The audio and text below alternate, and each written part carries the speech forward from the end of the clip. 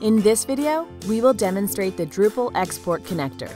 This connector offers the possibility to extract content and data from Drupal using the REST interface. Let's first check out the Drupal system that we use for this demo.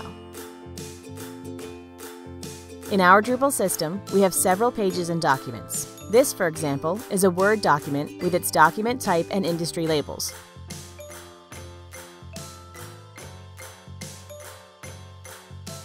And here is an example page with its content consisting of several paragraphs. To extract the content, we open the Xill IDE and our Drupal export connector script.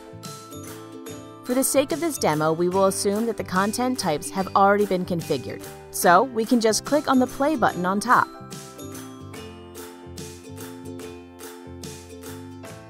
All the content from Drupal will be exported and is shown in the console here. The exported data is stored in the Unified Data Model, the UDM. This is our one-size-fits-all data model that we use to store data in between extraction and import. When we open the database, you can see where all the Drupal content is stored.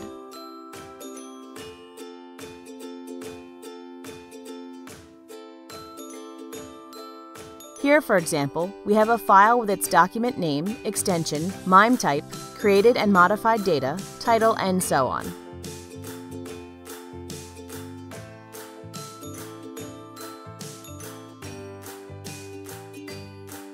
Back in Drupal, we can see the document we just extracted.